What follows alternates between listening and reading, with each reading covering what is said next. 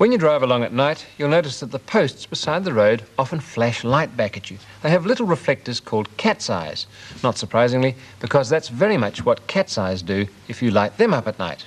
And not just cat's eyes either.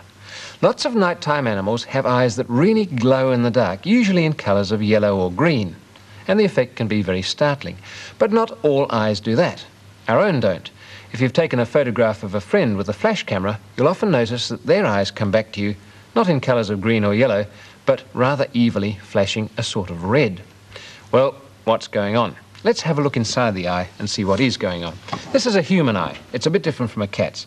If you take it apart, you can see that light comes in through the window there, and inside there's a sort of yellowy pinky layer. It's a thing called the retina. Here it is.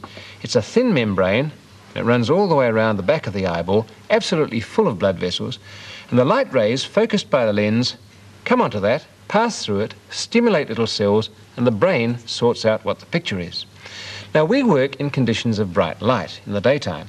And there's such a lot of light then that it has to be absorbed into this brown layer, otherwise it would reflect inside the eye.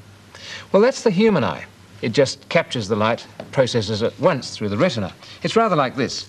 There's the retina, a sort of yellowy sheet, and behind it is the brown layer. Now, a beam of light coming to there, good strong sunlight, goes through the retina and then is absorbed almost immediately into the brown layer, and you don't see much of it bouncing back. But in a cat's eye, it's very different. You don't have a brown layer, you have a reflecting layer. It's almost like a mirror. There it is there. You can see that a ray of light coming in there, even a dim one, goes through the retina once, hits this reflecting layer, bounces out again, and you process the light twice. They get twice the intensity that we do. And that reflecting layer, the mirror, is a thing called a tapetum, and it's very common in nocturnal animals. Well, when you shine light onto those eyes, you get different effects. Let's take it down now, make it nighttime, and first of all, hit the human eye with a flashlight. There it is, good and black inside, but with a bit of light on it. Bang!